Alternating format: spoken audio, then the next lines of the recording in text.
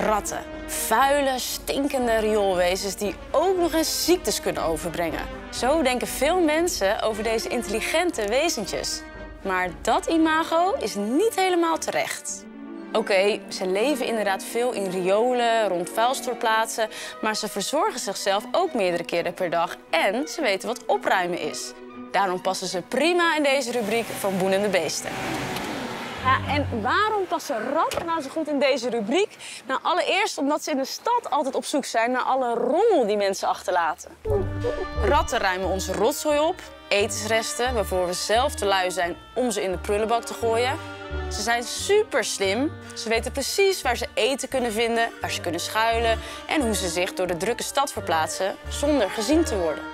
Ze komen af op voedsel, dus als dat te veel rondslingert, dan kan het een plaag worden. En dan kan het snel gaan. Want een vrouwtje kan iedere vijf weken gedekt worden, ook terwijl ze nog aan het zogen is. En op die manier krijgt een vrouwtje wel zo'n 30 jongen per jaar. Mark, zijn er naast etensresten ook nog andere dingen die ratten opruimen? Jazeker, ratten eten eigenlijk alles wat ze tegenkomen. Dus nu en dan ook hun eigen poep. Hun eigen poep, dat is ook niet heel lekker. Nou ja, het ruimt wel op. Maar dat is niet meteen de reden waarom ze dat doen. Ze halen er hun vitamine en mineralen uit. En het is heel goed voor de darmflora.